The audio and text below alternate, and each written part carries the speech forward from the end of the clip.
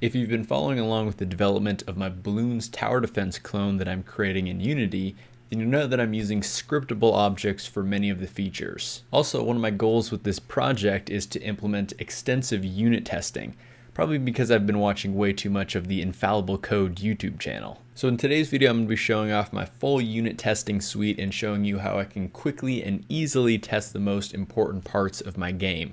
Now, if you already are familiar with unit testing and you just want to skip ahead to the scriptable object specific things, I'm going to go ahead and include links in the description below to all the time codes of kind of some of the major topics, so you can just skip to the portions that you want to. Now, a lot of this testing suite is built based off of the things that I learned from Charles on the Infallible Code YouTube channel, so if you do want a little bit more detailed information on any of this stuff, I will leave some links down in the description below so you can check that out. I'd highly recommend his content. And hey, while you're poking around down there, feel free to go ahead and poke those like and subscribe buttons if you want to continue to see awesome content for me related to Unity game development. Of course, if you do have any questions on any of this, or if you have suggestions for future videos, you can leave that down in the comment section below. So we're to start over in Unity as we do most of the time, and as you see in my project hierarchy here, you'll see that I have a tests folder, and under that I have two folders for edit mode tests and test infrastructure. I do plan on creating some play mode tests later on, but right now what I'm testing out on the scriptable objects doesn't need to be ran in the play mode, so edit mode tests work perfectly fine here. Now, if you don't already have your test folder set up, of course you just go ahead and open the test runner window like I have here. Now I already have the edit mode test set up, but basically if you do want to set up edit mode tests, you go to the edit mode tab, and then you click this button for create play mode test assembly folder. And then once you have that, then you can go ahead and actually click the button to create a test script in the current folder. So that will create your test script and I can show you what my test script looks like now. Actually, before we get into the testing, I just want to show that I do have one plugin. I'm using the Fluent Assertions plugin. I'll leave a link to it down in the description, but basically you can just drop the DLL into a plugins folder and then you can just go ahead and update the import settings like this and then you won't get any errors. All right, so here we are in one of my edit mode test scripts and basically I'm testing the balloons properties scriptable object.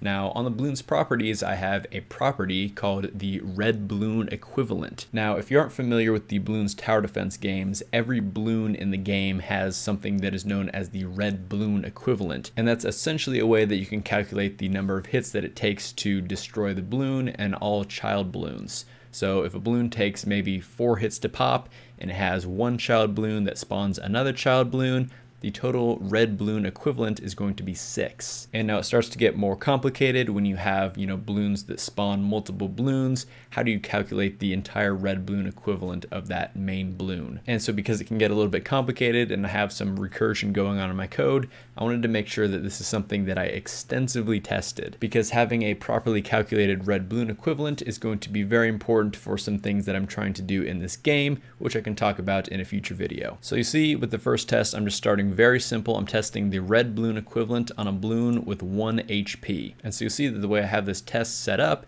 it's literally two lines long and everything is extremely easy to read.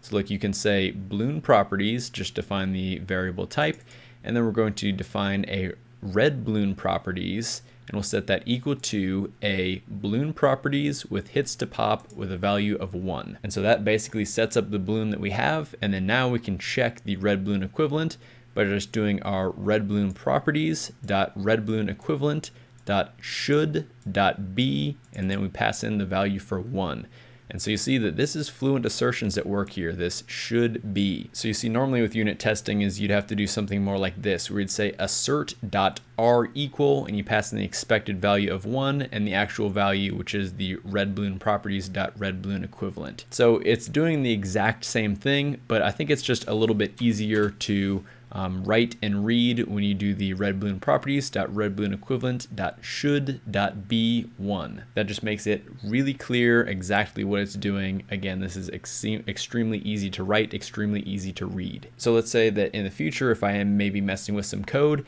and then I have a test that fails, I can come back to this test and I can really easily and clearly see what I'm testing and how I'm testing it. So that's why it's extremely important to have good testing that is easy to read and easy to write. Now you can see that as I go along that we have um, you know more tests that get more and more complicated, but they're still you know only like four lines long at max. Um, I'll leave a link to the whole GitHub repository so you can read through these if you like. Now, essentially what we have here is something known as the builder pattern. And the builder pattern is really cool because we can essentially use it to build objects that we may use over and over and over again during our unit testing. But let's talk about how to actually set this up. So first I'm going to talk about this static class called A right here. So the reason that we have this static class called A is mostly just for readability and ease of use. So it's basically how we can say I want A dot balloon properties and then it returns us it actually returns us a balloon properties builder, which is what we'll get into next.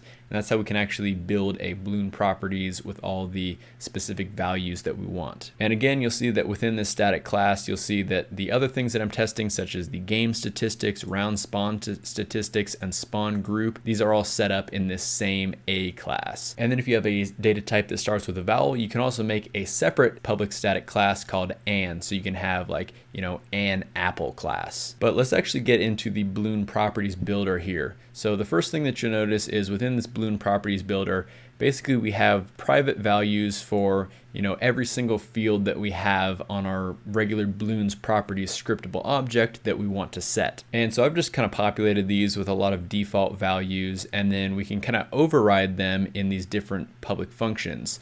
So for the balloon properties builder, all these public functions are actually going to return a balloon properties builder. So for example, I have one called cannot pop from darts. And when we do that, then it sets the can be popped by darts value to false, and then it just returns this. And I see that I have a couple more similar ones. And then here's one that I showed off earlier, this with hits to pop. You see that we can pass in a value to this. We just pass in an integer for the number of hits that we want to um, pop on this balloon properties.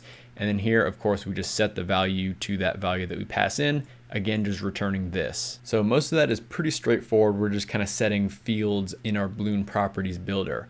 Now the real magic comes in the actual build function. You'll see that the build function, I have this as a private function which returns a type of balloon properties. So this balloon properties, this is our scriptable object. So now here's where the scriptable object portion comes into play. So now to essentially instantiate a new scriptable object of our balloon properties type, what we're gonna do is we're gonna do a scriptable object dot create instance passing in the type of balloon properties and we can just return that to a variable for new balloon properties. And then you'll see that on this new balloon properties variable, I'm basically just setting the property for say, for example, for the can be popped by darts, I'm setting the can be popped by darts field, which is on this balloon properties builder. So essentially when this build function is called, it's creating a new instance of that scriptable object. We're setting all the values that we kind of queued up within this balloon properties builder. And then at the very end, we just go ahead and return this new balloon properties. Now you'll notice that I have this build function set to private. And the reason that I do that is because I actually don't call this build function in any other scripts. I'm actually only doing that within the balloon properties builder script. So see down at the bottom here, I have a public static implicit operator, which returns a type of balloon properties and it takes in a type of balloon properties builder, which we just call builder. All it does is return builder.build. Now I know this might be a little bit confusing, but just bear with me for a second. So I'm gonna step through this one thing at a time, and I think by the end, you'll be able to connect all the dots here. So you'll see that our end goal is to get a balloon properties type. And using this custom A class, we can actually return a balloon properties builder. You'll see that even though I've called the value balloon properties just for readability sake, it's actually returning a balloon properties builder. And again, if you hover over this with hits to pop, you see that this also returns the balloon properties builder. However, when we assign that equal to a balloon properties type, we actually are using this public static implicit operator, which essentially can convert the balloon properties builder type into a balloon properties simply by calling the build method on the balloon properties builder. So essentially what we're doing with the A class is just queuing up all our values and then when we assign that to a balloon properties type, then it basically builds this balloon properties scriptable object for us and then it returns it to that value so then we can use it in our testing. And so this is really cool because again, we can get more complicated with it. So for example, for this blue balloon here, you'll see that this returns a balloon properties with hits to pop of one, and it also spawns a red balloon. So we can kind of chain these properties together so we can get kind of more complex and granular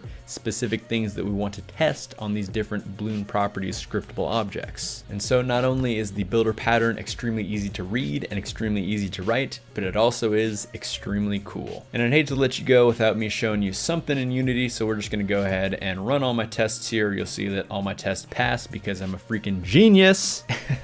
Anyways, I really hope that you guys enjoyed today's video. If you did, I'd really appreciate if you hit that like button. Also feel free to subscribe to the channel for lots more videos from me on Unity game development topics.